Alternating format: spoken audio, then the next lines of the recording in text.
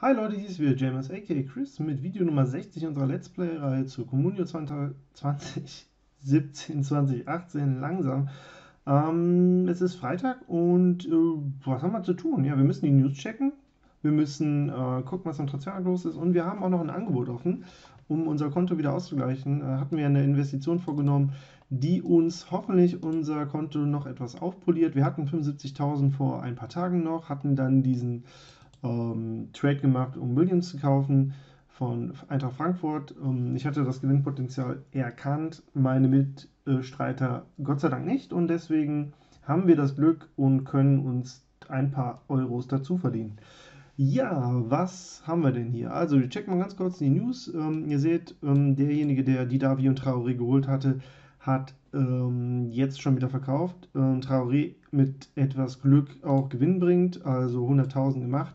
Ähm, der hat nämlich einen relativ schwachen ähm, Wert von 3,06 Millionen gekauft, glaube ich, für 3,1 damals, aber dann wieder 100.000 Gewinn gemacht. Ähm, Glück, Im Unglück muss man sagen, bei Didavi ist es etwas andersrum.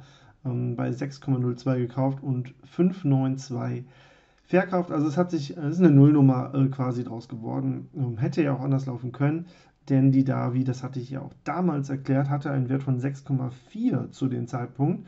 Ähm, da wurde ja theoretisch also doch etwas plus gemacht, ähm, wenn man an dem Tag hätte verkaufen können, aber das ging ja leider nicht. Das hatte ich ja mit erklärt. Äh, warum ich diesen Trade nicht gemacht habe. Da muss man immer über zwei Ecken denken. Einerseits, dass man den Spieler am Tag, wo er auf dem Transfermarkt ist, erstmal kauft.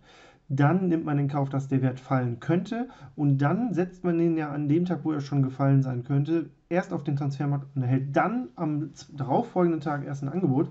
Das macht die Sache etwas kompliziert. Man muss über zwei Tage quasi mit einem Spieler äh, spekulieren. Und das wurde an dieser Stelle falsch gemacht und das hatte ich euch ja auch erklärt, warum man das nicht tut. Deswegen ähm, seid ihr jetzt schlauer und ich hoffe, derjenige, der den Fehler gemacht hat, auch.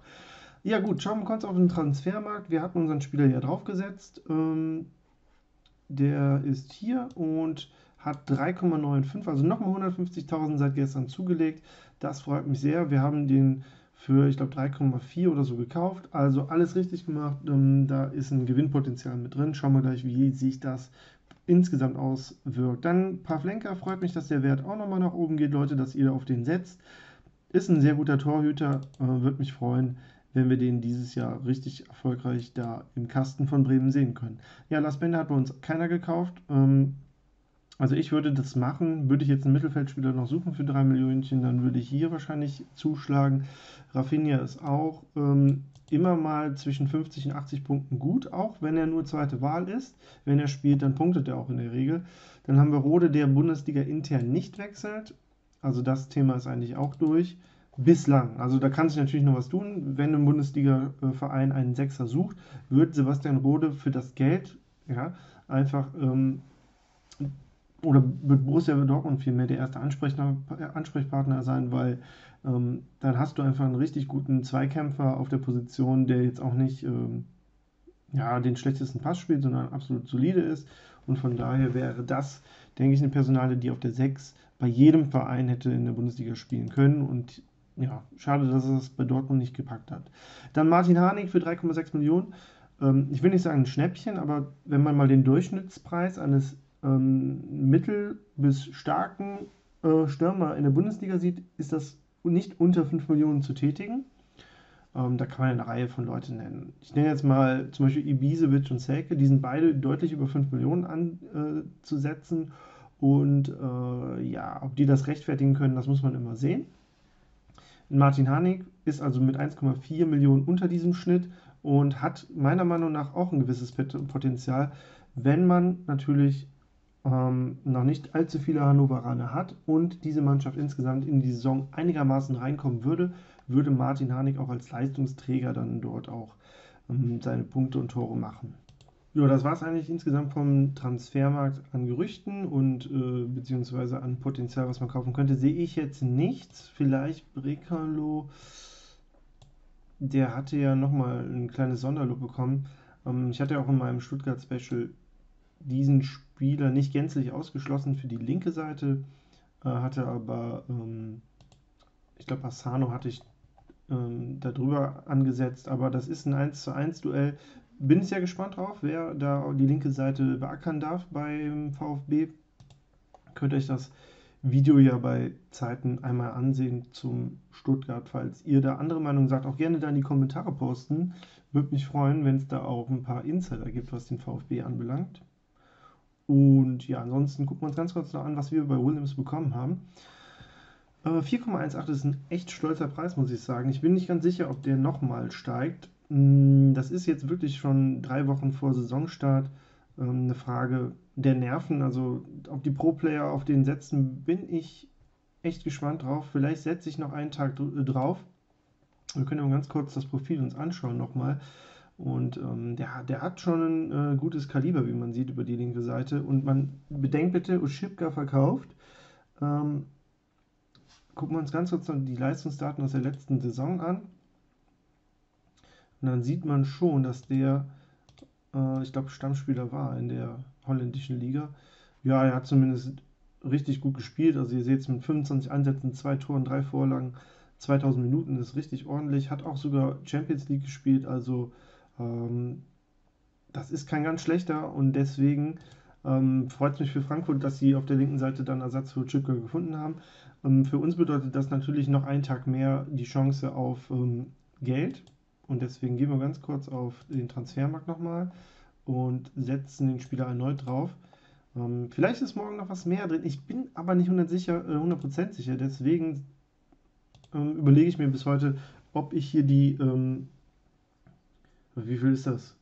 150.000 mehr äh, mitnehme oder nicht. Und ähm, ja, ansonsten schauen wir morgen nochmal drauf. Aber ich kann mir vorstellen, dass es morgen etwas weniger ist. Also das ist ja schon 150.000 mehr. Ist schon, eine, ist schon ausreichend, muss man sagen. Und schaut mal, was das aus unserem Kontostand macht. Als wir äh, angefangen hatten oder als wir den gekauft hatten, hatten wir 75.000 noch und jetzt morgen hätten wir 743.000. Also mit einem Spieler mal wieder knapp ja, an der Million wieder schrauben. Das wäre schon super. Und ähm, ja, das freut mich, dass wir solche Spieler hier noch äh, finden konnten auf dem Transfermarkt. Das ist ja auch nicht immer einfach aus dem ganzen Getümmel dann den richtigen rauszupicken. Ähm, natürlich, wenn man das 24 Stunden studiert und analysiert, dann natürlich klar, ähm, einer der, also wie ich das jetzt natürlich mit euch sehr präzise und genau mache, ist klar, da sollte einem auch nichts entgehen. Ähm, und ähm, ja, ich denke mal, das war auf jeden Fall gut, dass ich den gesehen habe. Man kann sowas leicht übersehen, meiner Meinung nach. Aber da gibt es auch Leute, die anderer Meinung sind. Dabei belassen wir es dann auch. Ja, ansonsten äh, gibt es noch ein paar Wasserstandsmeldungen zu meiner Mannschaft auch. Ähm, Sabitzer und Werner hatten sich ja vor drei Tagen circa im Training verletzt. Dann hatte ich gedacht, ja, was machst du jetzt? Ich habe einfach mal prophylaktisch einfach draufgesetzt auf den Transfermarkt, aber ich wollte ja eigentlich auch gar nicht verkaufen. Und ähm, ist auch gut so. Sabitzer trainiert schon wieder mit und äh, Werner wird vielleicht noch ein paar Tage mehr dauern, soll sich gut erholen, dann kann er fit in den DFB-Pokal mit einsteigen. Und ähm, ja, ansonsten sehe ich hier alle Daumen nach oben, das ist super. Wir werden Williams noch verkaufen, dann haben wir ein 3-5-2 und können praktisch in die Saison gehen, falls nicht wirklich was passiert. Ansonsten ist noch Mikel Merino von Borussia Dortmund. Äh, gewechselt, da bitte verkaufen noch. Also der ist schon eingefroren, meiner Meinung nach, aber äh, wo haben wir denn? Merino, Merino, Merino. Ist er schon raus? Er ist schon raus aus der Datenbank, so wie ich das hier sehe. Also bitte da verkaufen noch. Ähm, das war, glaube ich, 750.000 beläuft sich das. Habe ich eben mal nachgesehen und äh, ja, da müsst ihr verkaufen. Dann ähm, Ribery hatte sich auch noch im Training verletzt, aber der fällt nur ein paar Tage aus. Da ist auch nichts Schlimmes. Und Junusevic, da, liebe Leute, ähm, das können wir auch ganz kurz auch nochmal gegenchecken, was sich da jetzt tut. Ihr seht selber, das war jetzt ähm, höchste Not, den noch abzugeben, falls man Alternativen auf dem Markt hat, weil, da, ähm, weil er sich da an der Achillesferse verletzt hat. Und das könnte eine längere Geschichte werden. Äh, zu Moisander weiß ich gar nicht, ob ich alles gesagt habe, der fällt bis Oktober aus. Also hier, liebe Leute, sind auch nochmal 2 äh, Millionen Euro, die quasi eingefroren sind. Äh, da bitte ich euch noch zu verkaufen und euch nach Alternativen äh, ja, umzusehen. Da gibt es immer was auf dem Markt. Ähm, es macht nämlich keinen Sinn, diese 2 Millionen bis in Oktober mit reinzuschleppen. Auch ein Junusovic, da kriegt man für 5 Millionen auch einen Risse oder andere Spieler.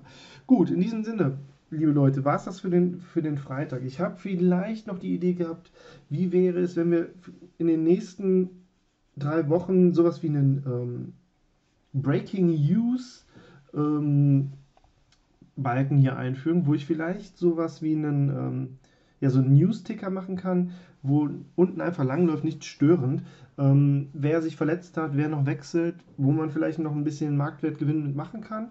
Ähm, das weiß ich aber nicht, wie aufwendig das ist. Ich habe da ähm, noch keine Erfahrung mit. Deswegen, das wäre einfach so eine Idee. Da muss ich nicht immer zu jedem Spieler was sagen und wenn man das also beiläufig mitliest, dann wäre das vielleicht eine coole Sache. Ähm, aber das ist nur Aufwand entsprechend. Also wenn das zu viel Aufwand ist, dann lasse ich das. Ansonsten werde ich einfach weiterhin zu den Spielern alles ja, erzählen und euch äh, dann mit so mit auf den Weg geben. Gut, ja, ansonsten guckt euch doch das Stuttgart-Video an. Das habe ich hier auch fertiggestellt gestern und mache mich jetzt an den BVB ran und würde euch dann in den Freitag entlassen und wünsche euch ein schönes Wochenende. Wir sehen uns dann Samstag wieder gewohnt, etwas später als ähm, in der Woche. Und ja, ich wünsche euch noch ein schönes Wochenende insgesamt. Wir sehen uns dann morgen wieder. Haut's rein, euer James. Bye, bye und tschüss, Reno.